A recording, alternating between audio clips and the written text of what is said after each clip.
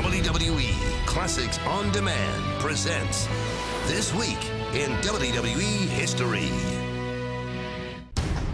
July 4th, 1993. The WWE Championship was in the firm grasp of a nearly 600 pound sumo warrior known as Yokozuna. Look at the size of this man. He is huge.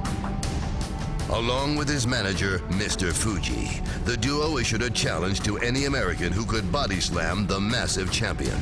And to rub salt into what would surely be a wounded American pride, the challenge would take place on America's birthday aboard one of her most beloved warships, the USS Intrepid. Yoko and Fuji were poised to make all of America choke on a heaping helping of humble pie. When a hero emerged, Lex Luger embodied the spirit of America and accomplished the impossible.